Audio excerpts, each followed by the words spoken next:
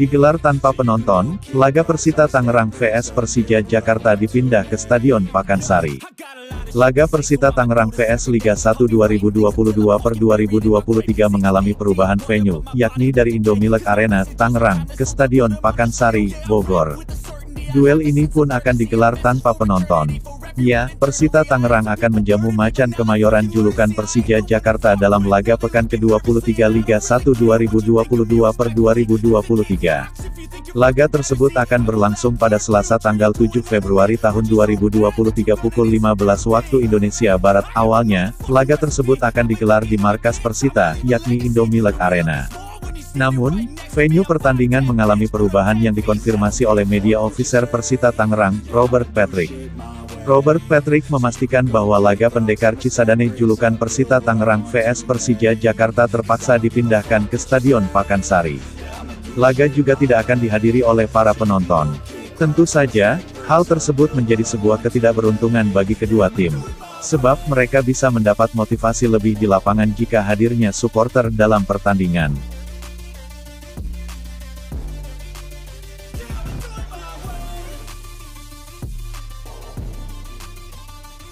Demi tiga poin, Thomas Doll siap turunkan duo striker timnas ini. Jelang duel Persita Tangerang vs Persija Jakarta, juru racik tim ibu kota Thomas Doll bersiap memberikan racikan terbaiknya untuk meladeni starting si Alfredo Vera. Ya, Thomas Doll masih berhasrat besar untuk bersaing ke jalur perebutan gelar juara Liga 1 2022 per 2023 musim ini bersama Persija Jakarta. Menghadapi duel Persita Tangerang vs Persija Jakarta, di Stadion Indomilek Arena, Selasa tanggal 7 Februari tahun 2023 besok. Bagi pendekar Cisadane, julukan Persita, tentu mereka tak mau kembali kehilangan poin seperti pada pertandingan sebelumnya, apalagi mereka berstatus sebagai tuan rumah. Tim besutan Alfredo Vera pun punya misi untuk mendapatkan poin penuh dan terus memperbaiki posisi di klasemen Liga 1 2022 per 2023 sementara usai rentetan hasil tak memuaskan di tujuh pertandingan terakhirnya. Di sisi lain, secara komposisi skuad Persija Jakarta diprediksi semakin mengganas dengan tengah on nya Abdullah Yusuf Helal. Total pemain berlabel Timnas Bahrain itu sukses bukukan 9 gol untuk Persija Jakarta. Selain itu secara head-to-head, -head, Persita Tangerang tak pernah menang dari Persija Jakarta sejak 2013 silam. Dari tujuh pertandingan keduanya, Persija Jakarta sukses unggul dengan meraup enam kali kemenangan berbanding satu kali hasil imbang.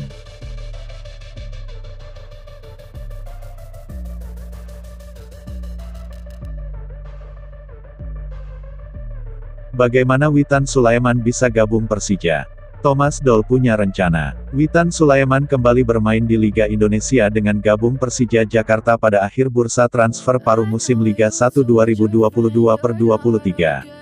Sebelumnya Witan membela AS Trencin dan Persija harus berusaha supaya kepindahan Witan ke Indonesia terwujud dalam waktu yang mepet. Bagaimana aksi Witan bersama timnas Indonesia sudah jadi perhatian Dol, dan kesuksesan Persija menggait pemain asal Palu itu benar-benar membuat pelatih asal Jerman ini bahagia.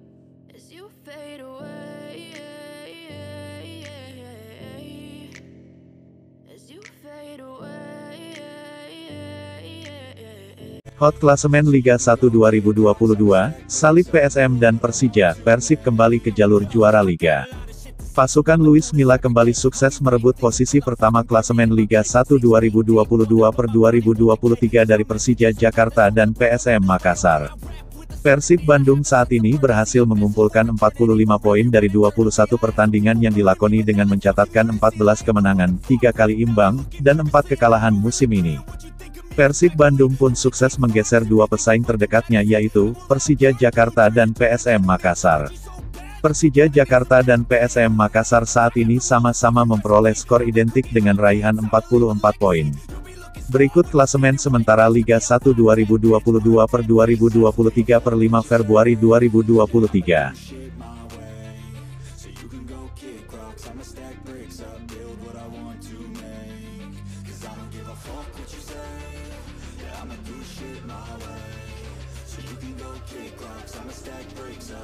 Bagi Witan Sulaiman, latihan dengan Persija sama seperti dengan klub Eropa.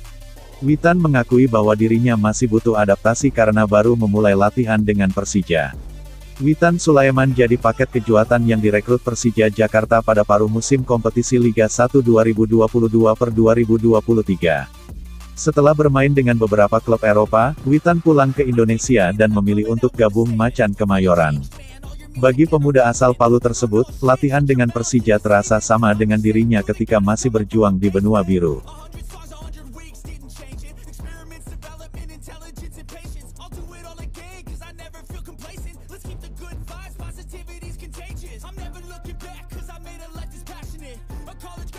Hadirnya Aji Kusuma bikin Michael Kermencik bukan jadi pilihan utama.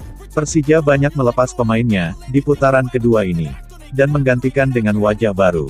Salah satu pemain yang direkrut Persija adalah Aji Kusuma, striker lokal ini langsung moncer di pertandingan awalnya bersama Persija.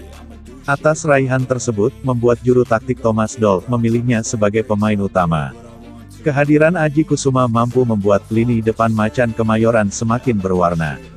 Namun tidak bagi Michael Kermencik, yang tak lagi menjadi pilihan utama Thomas Doll. Buktinya tiga laga terakhir Persija, saat melawan PSM Makassar, Aji Kusuma mencetak dua gol.